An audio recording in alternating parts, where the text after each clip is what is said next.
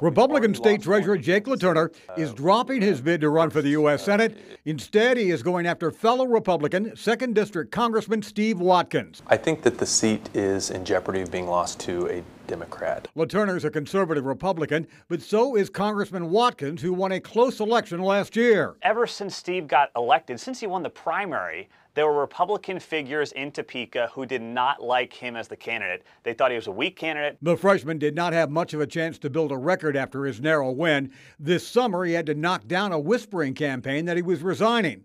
LaTurner says it's about electability. We've already lost one in Kansas City area. We cannot afford to lose another one in this state. Expecting the move, the Watkins campaign blasted LaTurner today, saying he's a political ladder climber who voted for tax increases in the state Senate. I'm not surprised we're here, but uh, you know this is a big deal for Kansas politics.